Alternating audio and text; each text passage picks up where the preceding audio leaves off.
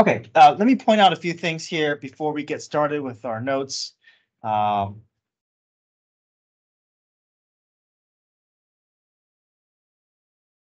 And so starting today, we're gonna have um daily homework.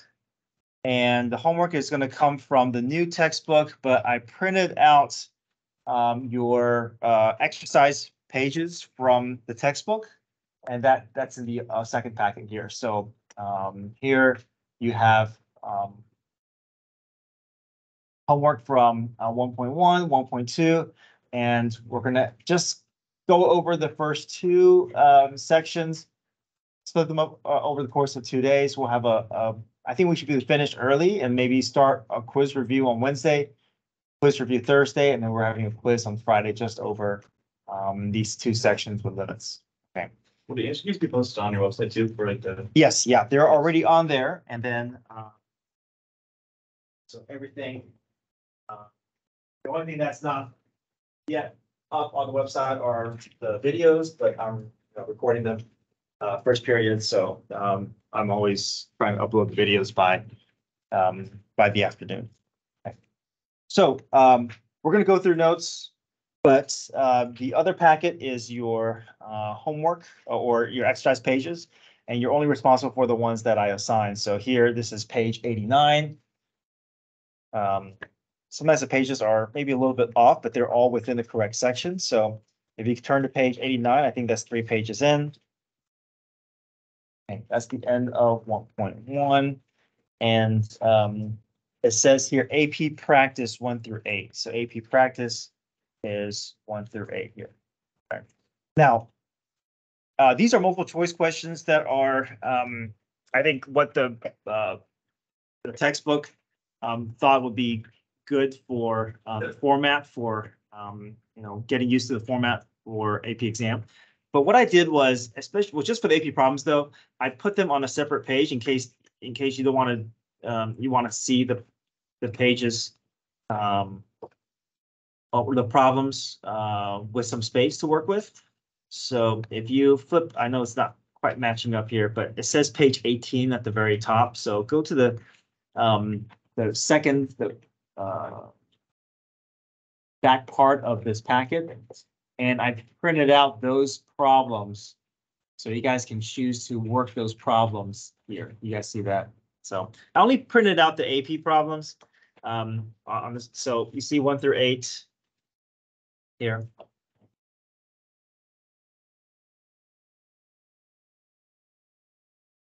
Did everybody see that?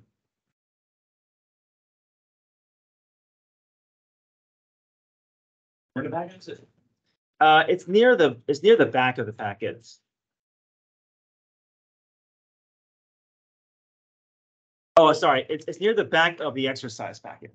Oh,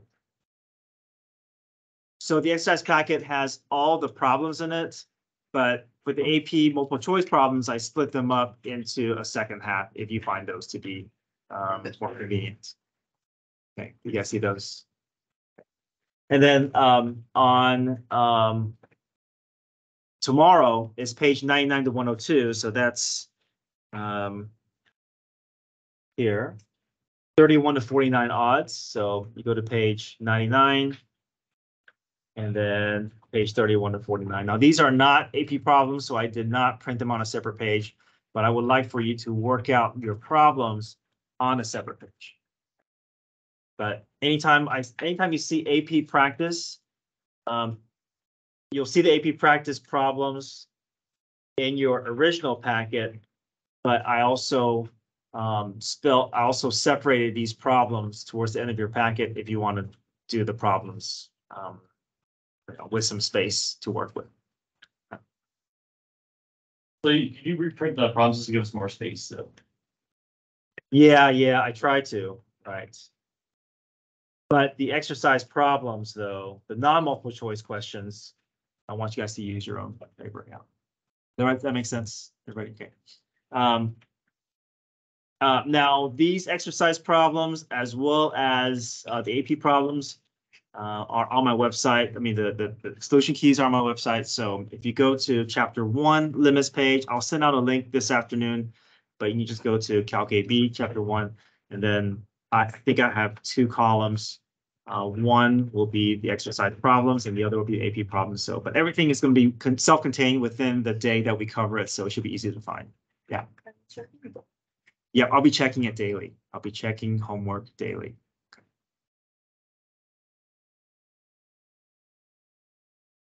Okay, any other questions? We have pub sessions every day. I'm sorry? We have pub sessions like every day. Uh, I don't have, I don't, I don't have, um, uh, announced help sessions. I will have a help session on Friday. But if you have any, any questions, you can just always come in in the morning. Yeah. I think the only thing is this Thursday is my BC. BC students, they're having a quiz on Thursday, so I think that, I think this Thursday morning will be for them. But you can come in any morning. Um, I can go over, if it's like five, ten minutes, I can go over any problems you want. But I'll, I'll have a announced official help session um, that Friday morning. Okay, let's go to uh, packet here. So if you go to the next page here, page zero, this is just some uh, important concepts that that I highlighted. We're going to uh, you know come back to these. I think I try to organize some of the steps um, into separate categories there, especially different ways of finding limits. Okay, so that's just like a reference page. So let's go to page one.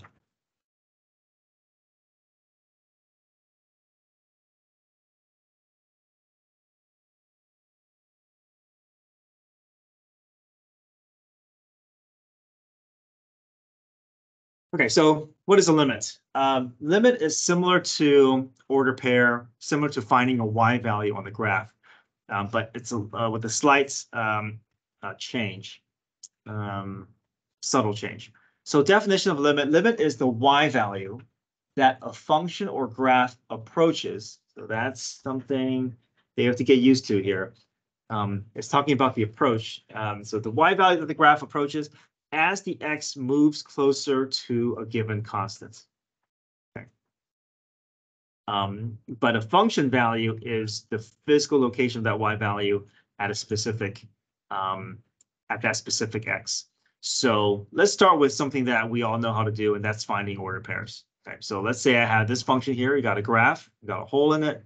It says the y value, so when x is two, so what's f of two equal to? So if I ask you, what is the order pair at when x is two, you would say one, right? Because that's where the point exists, okay? Now, the difference with limit is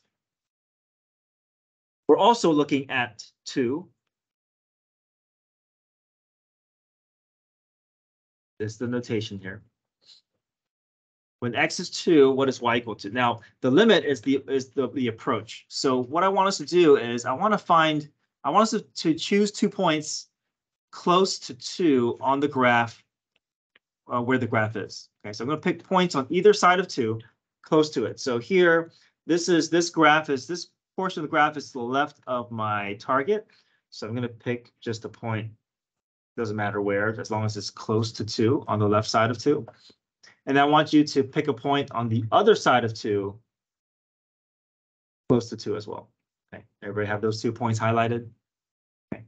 Now approach. So starting uh, with each point I want you to move closer towards that target, closer towards two. So I'm going to just follow along the path of the graph. I'm going to move towards two. So there's the arrow. I'm going to make those, the point get closer towards the target, towards two. So I just have to follow along the path of the graph. Wherever the path of the graph leads me, I got to take, I got to go that path. Okay, same thing with the other point here, move towards two. So now the question is, are the two arrows headed towards the same destination? Yes. Yes, okay. And where is, where are those arrows headed towards? It's getting closer to a y value of what? Four. Four. So that's the distinction here. Even though the graph doesn't exist at that order pair, because there's a hole there, the approach is consistent. That's all limit requires. As long as you can visually see the arrows pointing towards the same destination, that is your limit. So even though the point lives in a different location, as long as the arrow is pointed to the same destination, that is your limit. If they're not pointing to the same destination, then there is no limit. So limit exists if the arrows are pointing to the same y value. Yeah. Is limit always gonna be like a hole? It doesn't have to be, but it could be. We don't care. I mean, if, if, if it's a hole, if it's an asymptote, uh, or not asymptote, if it's a hole or that point can be connected, but we don't care. We just care about the arrows. Okay, wherever the arrow is pointing, that is our answer. Okay, even if that hole is throwing you off. Right.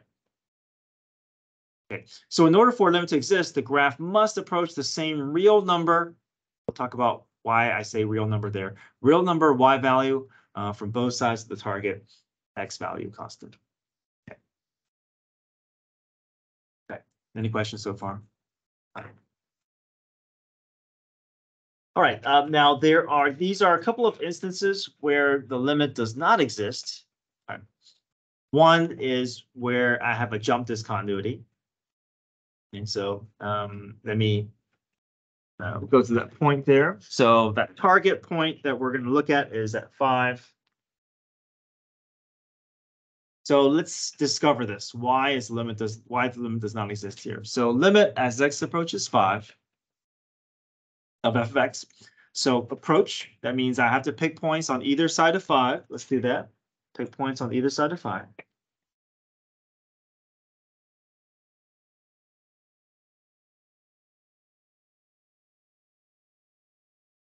And I want you to draw an arrow towards five along the path of the graph. So now the question is, are those two arrows headed towards the same y value? No, they're not. So therefore, the limit does not exist. It doesn't matter that there's a point here, it doesn't matter there's a hole there, it doesn't matter that the graph does exist there. We don't care about it. We look at the arrows, okay? If the arrows are, are taking me, leading me towards the same y value, that is, that's when I have a limit. If they're not leading me to the same y value, limit does not exist. So I say D and E to, uh, for, uh, abbreviation there, but you can also write does not exist. Or you can even say undefined. You have a lot of options. They all are interchangeable. Hi. Hi, how are you? Good. Have David Kelly. Yes. And Caitlin Martin.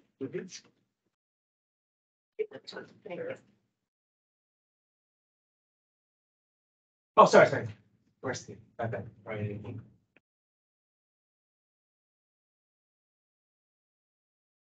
Good question. Yeah.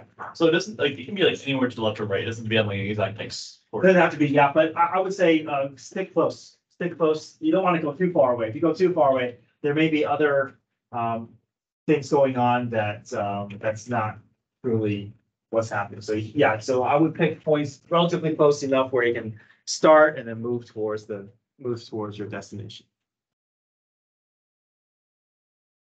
Okay, everybody good with example two? All right, example three, uh, limit as x approaches three. This is another, uh, instance where the limit does not exist. So if you can pick points on either side of three.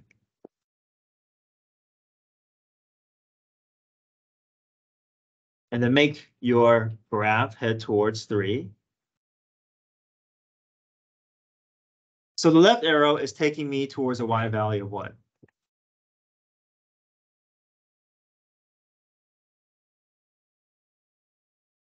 What's hap- what's happening to, to this arrow? Okay, It has like a, a sharper curve. yeah, so what y value is this arrow headed towards? It's continuous, right? Mhm. So where's that arrow headed? Positivity. Positive infinity, yeah. Keeps going up, right? What is this right arrow headed towards? Same. Yeah, positivity. Now, is positivity a real number? It's not a real number. So in order, f- even though they are technically approaching the same quote unquote y value, but it needs to approach the same real number y value in order for a limit to exist. So here we say that the limit um, is equal to, um, it doesn't exist. Okay, but we can create a subcategory and say, okay, the limit doesn't exist, but here is a visual as to what's happening. The graph are, they're both headed towards possibility. So even though the limit doesn't exist, that possibility kind of gives you a quick visual. Okay, all right, I know what the graph looks like. So a lot of times, um, these are interchangeable, but just understand that if you see a limit equals positivity, it means that the graph looks like this, but it is technically it does not exist. It's not a real number. It's not a real number, right? And like also like if it's like, if the two different like functions or lines are like curving up at different speeds, would that like affect? Uh, no, it doesn't matter. Yeah, as, as long as, you know, one may be uh, approaching faster than the other, but if they're both approaching positive infinity, that still does not exist. All right, example four is kind of a strange uh, scenario here. We're not going to see this very often.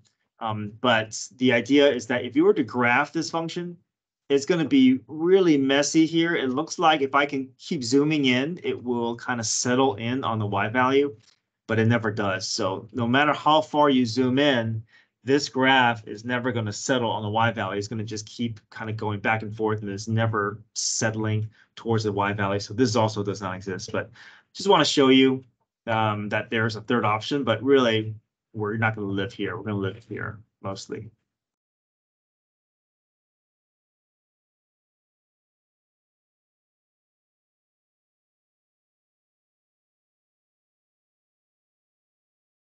Okay, so we looked, we were able to um, evaluate limits graphically. So this is our focus today. Our focus is on the graphical perspective. We can also find limits using a table of values. Um, but um, it looks messy, but just want to show you how to read a table and find a limit. So all the messy work is done for you here.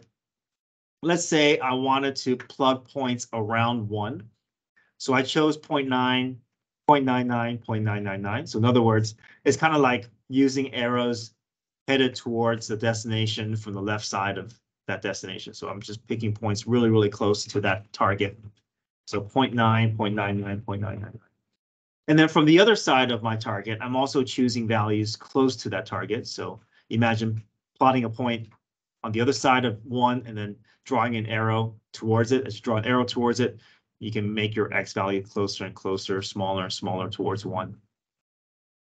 Now, if you were to take these decimals and insert them into the function, these are the y values that you'll get back. So if I plug 0.9, I'll get 2.71. If I put 0.99, I'll get 2.97.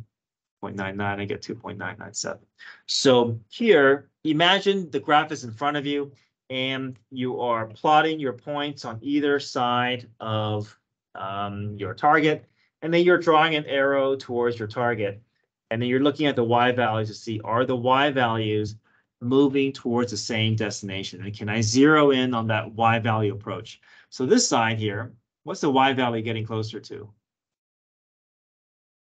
What's the Y value getting closer to? Oh, three, Three, right? What's the Y value getting closer to on this other side? same, three. Also three. So this side's approaching three, this side's approaching three. Does the graph exist at one? It No. doesn't exist, but does that matter? No, My limit is still gonna be what? Three, even because there's a consistent mo- movement towards that Y value of three. So let's say at one, the order pair is at nine.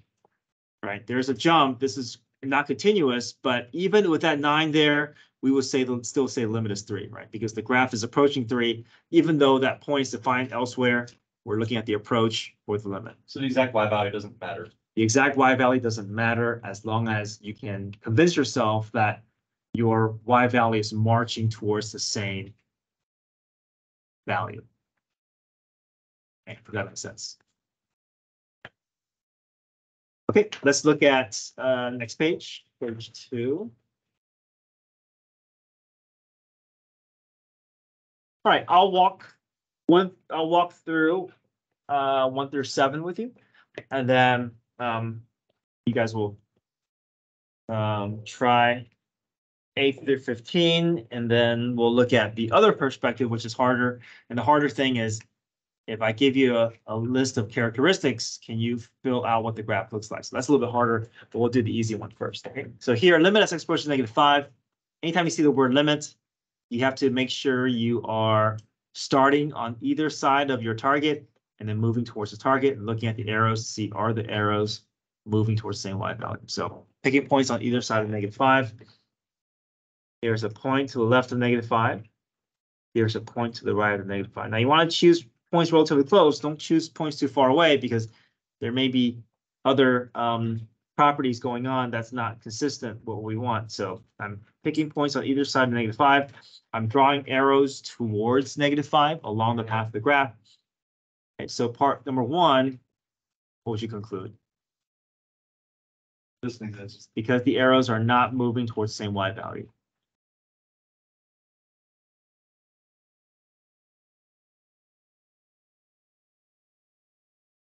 Number two, limit as x approaches negative four, so I'll pick points on either side of negative four. I'll draw arrows towards negative four, towards the x value of negative four. Are these arrows headed towards the same y value? Yes. Y value of what? One.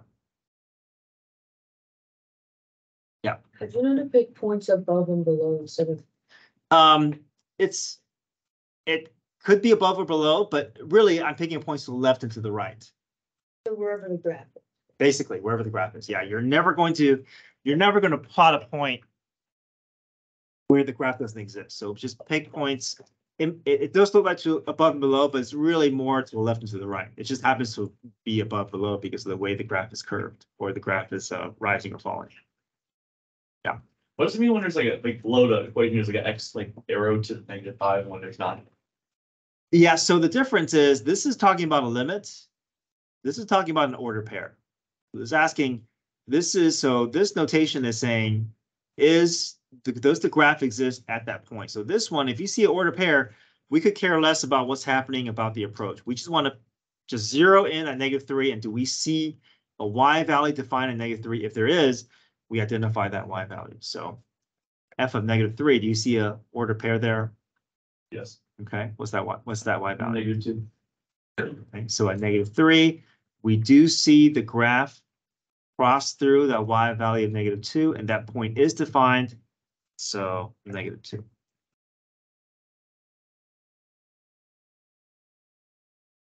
Right? What about the limit as x approaches negative three? So I'm gonna pick points on either side of negative three. Draw an arrow towards it. And are those two arrows headed towards the same destination? Yes. Also what? Also negative two. So this is something that we're gonna, we're gonna talk about later here. What can I say about a graph? If my order pair and my limit are consistently giving me the same value? Function. Okay, what else? This is a little bit of a future topic, but I want to kind of see if you guys can make a generalization here. What is it about the graph? What is it that, or what conclusion can you make if, let's say, the limit and the uh, uh, order pair are in agreement versus ones that are not in agreement? What scenario do you see where the limit and y value are giving you the same number versus limit and order pair that are giving you the same value? Can you make a, a generalization? You don't have to get this right. I just want to kind of point this out here.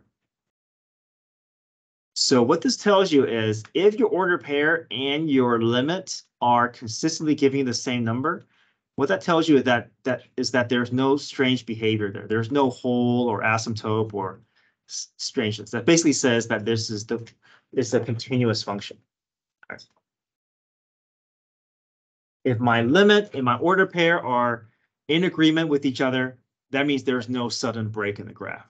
That means my approach is moving towards the same y value where that y value exists. So we're gonna kind of discover this after this next few sections, but I want to point that out. But what's f of three equal to? So we're just zeroing in on three. Do you see any y value that lives at three? Obviously, there's a hole. There's a hole there, so this is undefined or does not exist. You put undefined or does not exist. Yeah, either one is acceptable. Right, what about the limit as x approaches three? So pick points on both sides of three. And then move your arrow towards three. Um, negative three. Yep, the arrow is taking me to negative three. Okay, Limit as x approaches six.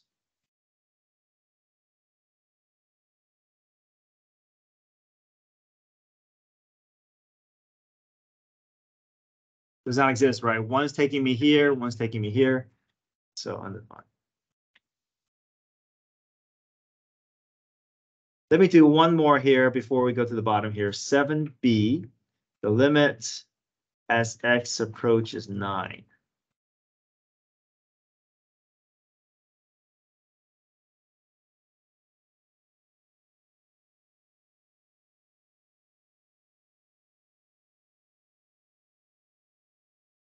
There's only one way to go. Mm-hmm. So what do you think the conclusion would be? All solutions. Does not exist. Does not exist. Why, why can I, why do I say does not It's exist? going to positive infinity. Well, can I pick a point to the left of nine? And start there? Okay. Can I pick a point to the right of nine? No, No, there's a, I- if I don't have a starting point, if I can't even uh have my initial points to to start with, I can't compare with anything, right? So if if it's basically, it's basically saying, if you ever see an endpoint, the limit is not gonna exist there, because I'm I'm not able to get my conditions to to even start off at at the right place, right? I gotta pick points on both sides. It's gotta have a, has to be a a uh, consistent motion from both sides. So even though the left side is approaching a y value of four, we're not able to get anything to show us on the other side of nine. All right, you guys want to try eight through fifteen and try those on your own, and we'll compare our answers and see how we do.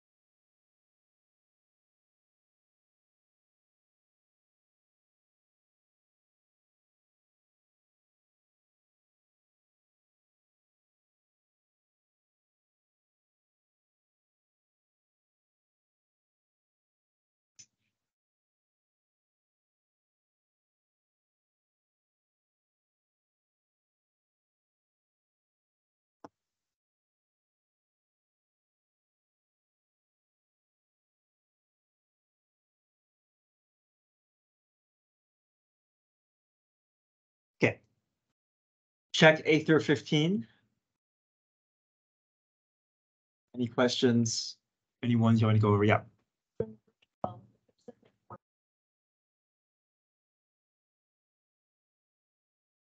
Not follow. Right, so the graph doesn't exist at that pole, but the graph does exist at this point, right? So now the limit would take us towards this hole, but the order pair is where that point lives, yeah. Um, so the the endpoints are like the only ones like, they, the end, no, supporting. The endpoints are only defined as like the ones like where there's like no more like lines after it. That's right, yeah. Like if you're like, for example, like a negative seven, like x equals negative seven, where's that hole, even there's still like a line after it, so that wouldn't be end. Uh. Yeah, I guess it wouldn't be an endpoint, but would the limit exist at neg- at, at, uh, at negative seven here? Oh, no, no, it doesn't. It wouldn't, right? Because if I pick points on either side, they're gonna, the arrows are not gonna be pointing towards the y value. Even it's not like, like an endpoint, it must be not exist. That's right, yeah. Yeah. So we call that jump discontinuity. If you see two different branches that are not lining up, then you know that limit's not going to exist anytime you have a jump discontinuity.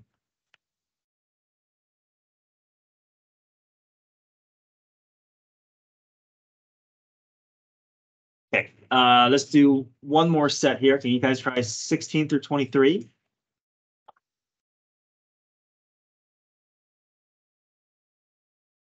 Page three. And then we'll talk about the more challenging version of these problems, which is can you sketch a graph if I give you a bunch of properties?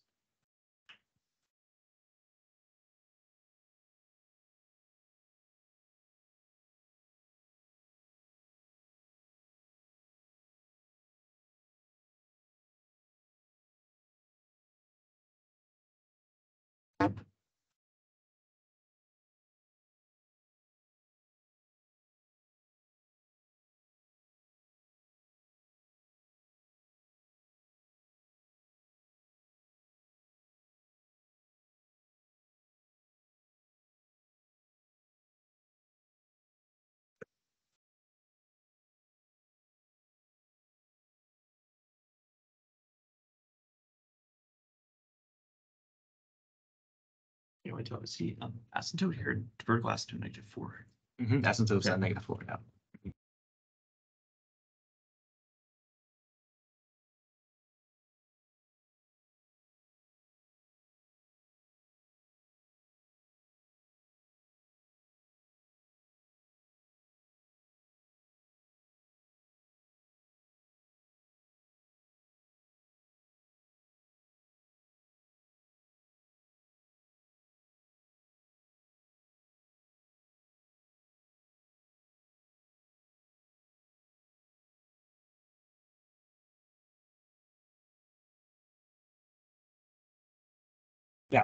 How would you do like eighteen and nineteen with the negative four? It's kind of hard to tell where the, Yeah, so, right, so the, the idea is that you see those arrows there, that's an indication that there is a vertical asymptote by negative four, so. Uh, so the graph never touches negative four. see lines like that, just like a thing. That's right, we know that there's a wall that the graph is, is moving towards but never touching.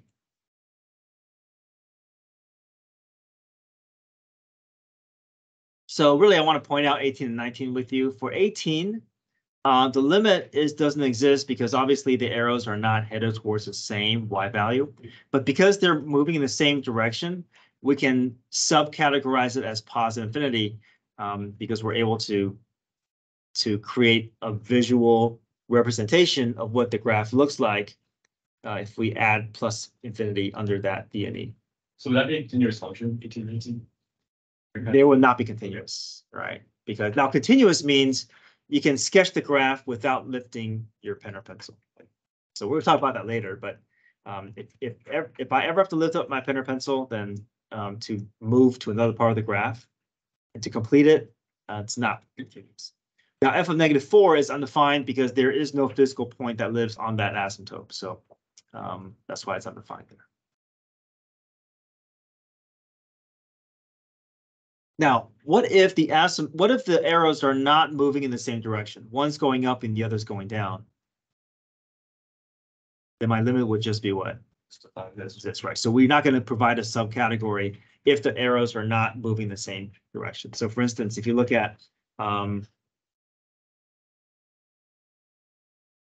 um, twenty-eight and thirty, you see how the arrows are not consistently moving. I mean, we, all we all know any asymptote is, does not exist, but a subcategory is possible if the arrows are both moving down or both moving up. But if one is moving up, the other's moving down, the best we can say is does not exist. We're not gonna, we'd have a subcategory for if the arrows are not are not consistent. Isn't a second. Oh, There isn't a second arrow for twenty-eight. uh, for which, which number? Twenty-eight, Twenty-eight, because you can't go on the other side. right, so, uh, because the, you see the arrows moving down here, but the other one's moving up. So Oh, because of that, that direction of motion, we just say does not exist. We're not gonna add anything more to that.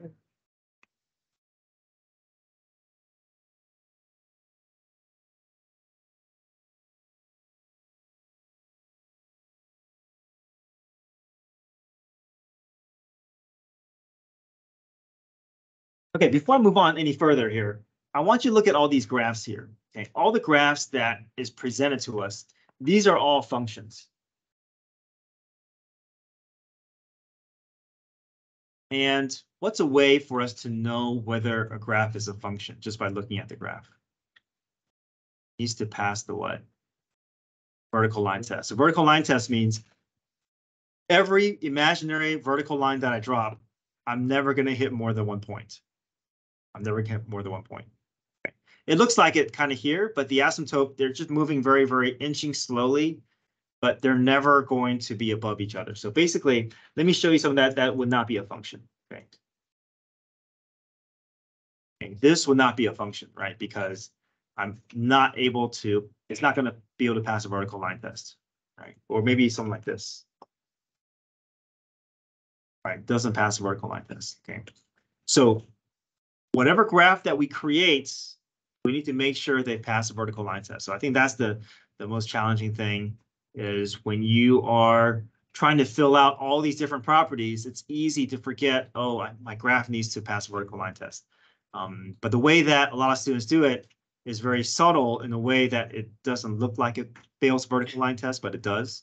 So I want to show you what that looks like so you don't make those mistakes. How do we approach like these problems, these limits problems differently if they like don't pass the third one? Well, we're going to create the graph so that they do pass the vertical line test. So I'm going to show you what that, uh, what that looks like.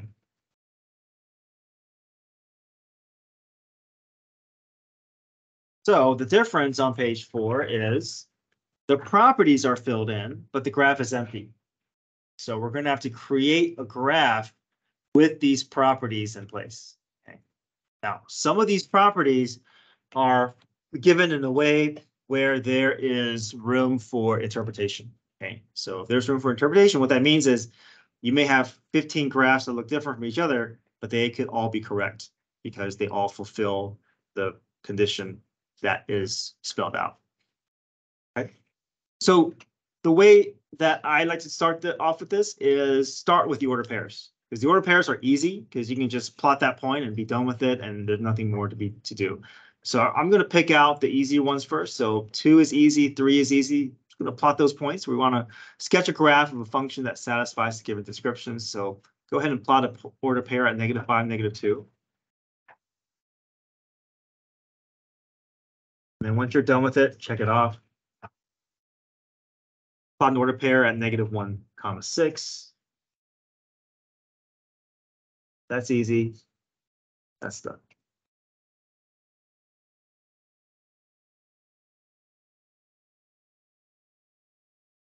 Now, let's go to number one here.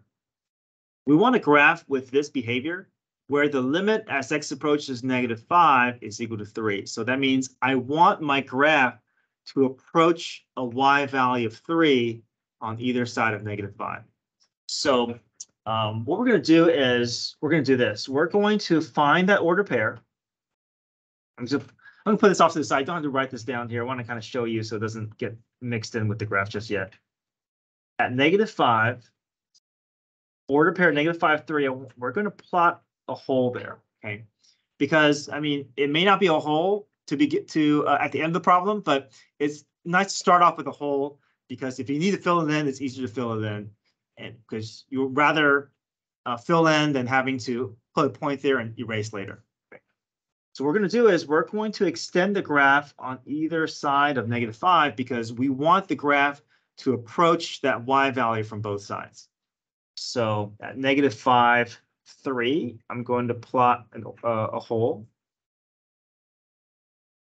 And I'm just going to have a bit of a segment extending out. Um, this may not be complete, but at least I know that my graph is fulfills that condition at that point, right? Because maybe I, I may may- maybe I make my graph a little prettier later because I then later on at the end of the problem, I'll, I'll kind of have an idea where the I want the graph to extend. But I don't want to graph. I want don't want to extend the graph too far because if I do, what's going to happen is it may may fail the vertical line test. So I'm just kind of holding off right now. I just want to get this fulfilled, right? Because if I pick points on either side of negative five and draw arrows, the arrows do move towards the y value of negative three. So for now, it is partially complete. So I'm just going to put a check mark off that. you may have a graph that's going slightly up versus slightly down, but just go ahead and create very small segments that extends towards that, that hole, but don't go too far, right? All right, number four, limit as x approaches negative three equals negative infinity. What does that tell you? That tells you that there is a what at negative three, Vertical. That's vertical asymptote. And then what does that negative infinity tell you about the arrows? Point down, Okay.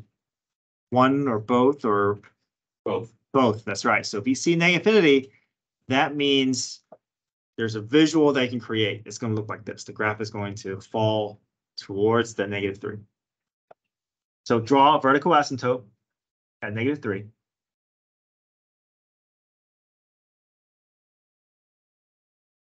And then you can draw arrows that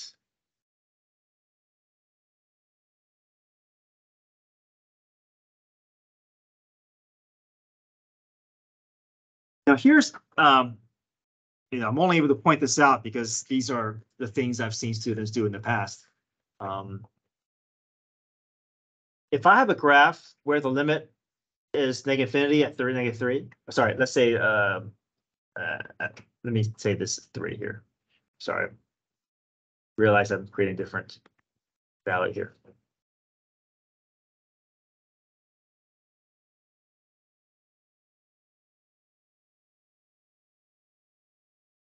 So the way that you want to draw uh infinity, you have to make sure that your arrows are are drawing towards your asymptote. This is what I see some students do. They realize there's an asymptote there, but they draw it this way, which is not correct. Okay. So make sure that if you, if it's headed towards negative infinity, the arrows are not going to move away from that asymptote. It's going to move towards it. So this is not correct. Everybody see that distinction? Yeah.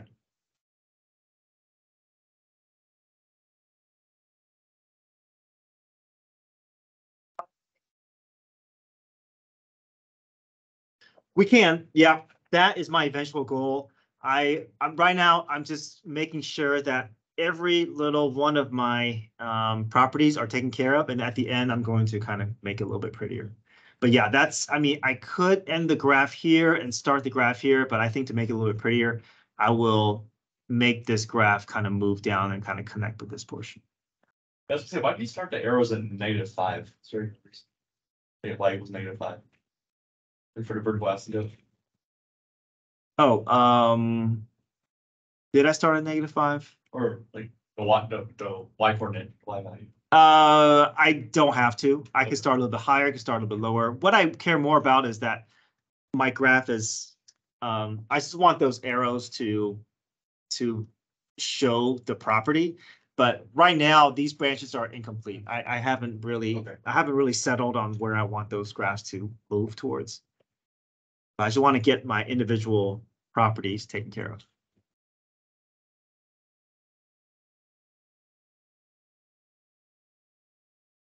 Okay, f of three is undefined. What does that mean? Oh, yeah. Yeah, that means a hole, or it just means that there's nothing at three. Okay, so I just have to make sure that um, that at the, at the very end, that my graph doesn't, doesn't um, uh, accidentally cross over y value three, but really there's nothing for us to put there because we don't want anything there. So if we put something there, then we kind of go against what this is saying. So I'm just gonna put a um, put a star next to this because maybe I should have to make sure that at the end of the problem, that that point doesn't accidentally get defined. Or that there is no point that lives at three. If you did a hole, Mhm. you can just, and you can go over it and do a hole, right? Yeah, you can just do it, do a hole there. Now, I would hold off on that because here, this is also referring to three, so maybe I want to kind of take care of this one first. Okay. So here it says that the limit does not exist. So this is where there's a lot of room for interpretation, okay? So you can either make the graph an endpoint, you can make it an asymptote, or you can make it two disjointed problems. What you don't want to do is you want to just create a hole here because this would not fulfill limit. Right? If I had a hole there, if I make the graph looks like this, look like this, then the limit does exist, right? So I want everything except for that. So for six, a lot of options here. Let me show you all the different variations and you are able to create even more variations than this. Um, so if I have limit as x approaches three, does not exist. Okay, a lot of options here. So I can make it a three with an asymptote. Maybe I can make one go up, other go down, or both go up, both go down. That's a, that's a possibility. Or at three, I can make my graph look like this. I can just pick any random point. Make it connect to that point and be done with it. Or I can make it a graph where there's a hole and then it picks up somewhere else. Sorry, another hole here. Picks up somewhere else and keeps going, right? So I can make it two disjointed graphs. I can make it an endpoint. I can make it an asymptote. A lot of variations where it does not exist. What you don't want to do is this. You don't want to do this.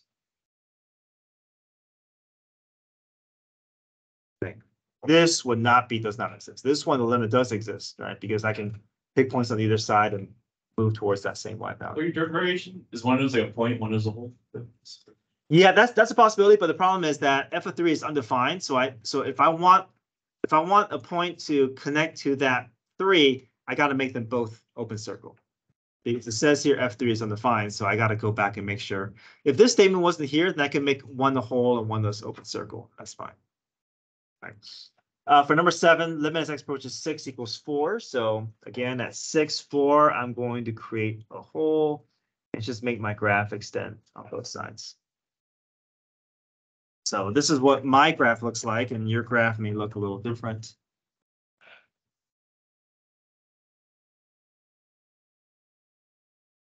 Then you just like, like start drawing the lines on. Yeah. Start drawing the lines. What I did was I uh, made those connect. But if you don't want, if you don't want to make all those points connect, just make them stop at those points. You can have all these uh, separate segments if you want. Just make sure that you don't do this. I see some students do this where they see, they say a limit exists. They put an arrow at that point and then they draw, or they put a hole there and they draw an arrow here. You don't want to do this. If you draw an arrow like this, I'm gonna follow the arrow and that arrow is eventually going to, is also, it's gonna cause a conflict with vertical line tests. So um, it's okay to um, create a segment that kind of just juts out a little bit, but never put arrows pointing towards the middle of the graph. If you do that, chances are I'm gonna follow that arrow and that arrow is gonna eventually cause a problem with another part of the graph. So don't ever, don't ever use arrows um, in the middle of the graph. Now, if you have arrows that's exiting the graph, that's fine because you know that arrow is never going to conflict with anything else. Um, or your arrows are headed towards an asymptote. So, but never have an arrow point towards the center of the graph. Yeah. I think when you put, five positive two, but instead of five negative two for one of the points, Um, or negative five positive. It's supposed to be negative five, negative two, but it's negative five, positive two. oh, yeah, you're right. Um, that's a negative five percent. Yeah, sorry, this point should be down here.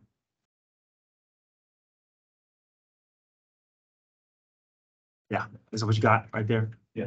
So you can connect, you can connect, connect, you can connect the points to the arrows and You can, yeah, or you can, or you can make a stop here and then pick up, pick up somewhere else and draw the arrows down here.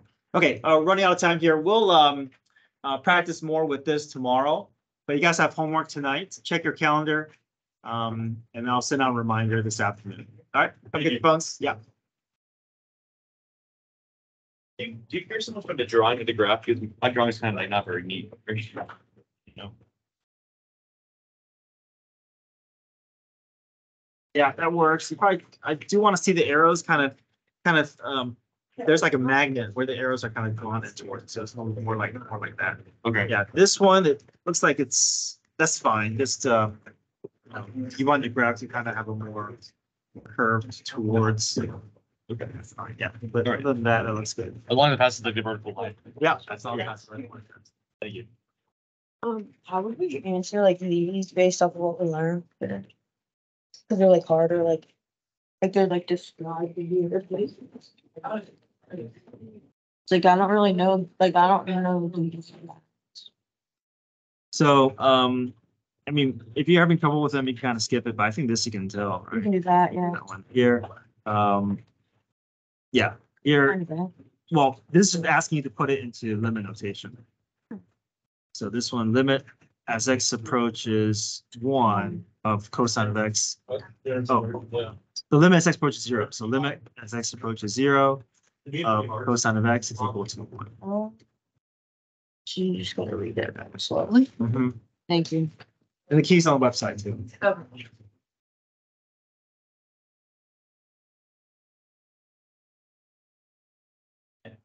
Thank you, All right, thanks, guys. Have a great day.